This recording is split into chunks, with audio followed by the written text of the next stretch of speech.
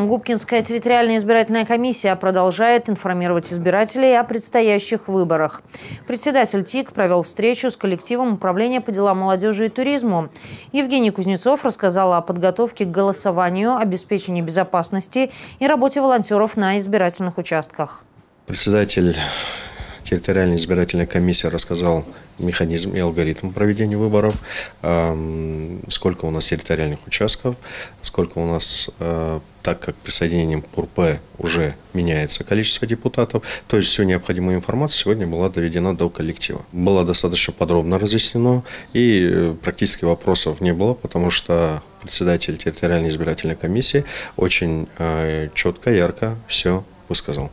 Встреча прошла э, очень на высоком уровне. Нам настолько была подробно донесена новая информация по предстоящим выборам, о тех изменениях, которые произошли в нашем городе, о том, что нам предстоит делать. Да, если мы уезжаем в отпуск, э, как мы должны правильно проголосовать, прикрепиться к новому участку. Напомним, что в сентябре губкинцы будут выбирать депутатов в Думу города Губкинского, Тюменский парламент и Госдуму России.